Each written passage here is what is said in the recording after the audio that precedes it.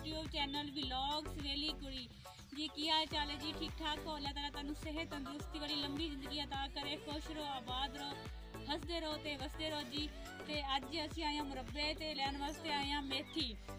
ਹਰੀ ਮੇਥੀ ਲੈਣ ਵਾਸਤੇ ਆਏ ਹਾਂ ਤੇ ਅਸੀਂ ਬਣਾਉਣਾ ਮੇਥੀ ਦਾ ਸਾਲਨ ਤੇ ਤੁਹਾਨੂੰ ਵੀ ਦਿਖਾਣੇ ਆ ਕਿ ਮੇਥੀ ਕਿਹੋ ਜੀ ਹੁੰਦੀ ਆ ਤੇ ਉਹਨੂੰ ਫਿਰ ਵੱਢ ਕੇ ਫਿਰ ਉਹਦਾ ਸਾਲਨ ਵੀ ਬਣਾਵਾਂਗੇ ਤੇ ਮੇਥੀ ਤੁਹਾਨੂੰ ਪਤਾ ਨਾ ਮੇਥੀ ਖਾਣ ਦੇ ਕਿੰਨੇ ਸਾਰੇ ਫਵਾਇਦ ਆ ਤੇ ਮੈਥੀ ਬਹੁਤ ਅੱਛੀ ਚੀਜ਼ ਹੁੰਦੀ ਆ, ਅਸੀਂ ਹਰ ਦਫਾ ਬੀਜਦੇ ਆ ਆਪਣੇ ਮੁਰੱਬੇ ਤੇ, ਫਿਰ ਇਹਨੂੰ ਮਤਲਬ ਹਰੀ ਵੀ ਖਾਂਦੇ ਆ, ਫਿਰ ਇਹਨੂੰ ਖੁਸ਼ਕ ਕਰਦੇ ਕਰਕੇ ਤੇ ਕੜੀ ਤੇ ਪਕੌੜਿਆਂ 'ਚ ਪਾ ਕੇ ਵੀ ਖਾਂਦੇ ਆ, ਬਹੁਤ ਮਜ਼ੇਦਾਰ ਹੁੰਦੀ ਆ। ਤੇ ਤੁਸੀਂ ਵੀ ਜ਼ਰੂਰ ਆਪਣੇ ਘਰਾਂ 'ਚ ਲਗਾਇਆ ਕਰੋ, ਇਹਦਾ ਬਹੁਤ ਜ਼ਿਆਦਾ ਫਾਇਦਾ ਵਾ। ਤੇ ਸ਼ੁਰੂ ਕਰਦੇ ਆ ਅੱਜ ਦਾ ਵਲੌਗ ਤੁਹਾਨੂੰ ਦਿਖਾਉਂਦੇ ਆ ਮੇਥੀ।